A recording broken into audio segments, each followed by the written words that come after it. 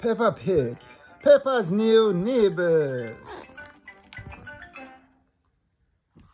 Peppa's new neighbors. Daddy Pig is working hard. He's building a new house. The new house looks very small. Is it a house for elves and fairies? asks Peppa.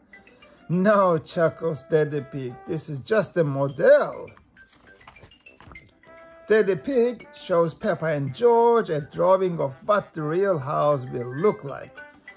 Something is missing, says Peppa.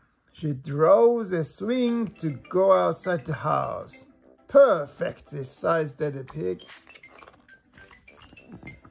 Daddy Pig takes Peppa and George to see the new house. Here we are, he snorts. But Daddy, says Peppa, there's nothing here. That's because the building work hasn't started yet, replies Daddy Pig. Mr. Bull is going to build the new house for Daddy Pig. Can you build it exactly like this, please? says Daddy Pig. But bigger, adds Peppa. Mr. Bull shouts to his friends.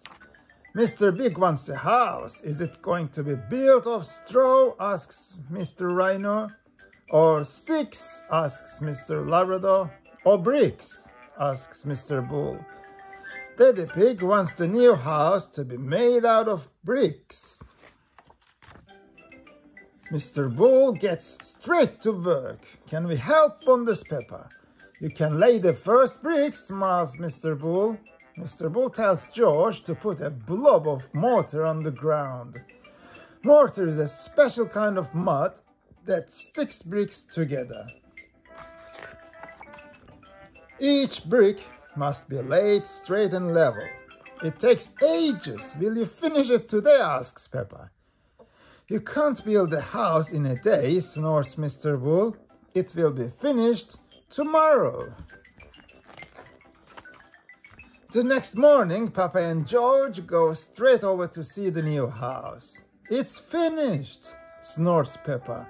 It's almost finished, says Pep Daddy Pig. It just needs to be inspected. Mr. Rabbit is the building inspector. He looks very carefully at the new house. Very good, he decides, but you forgot the swing. Oh, no, we didn't, shouts Mr. Bull. The house is all ready for the new neighbors to move in. Mr. Wolf and his family arrive.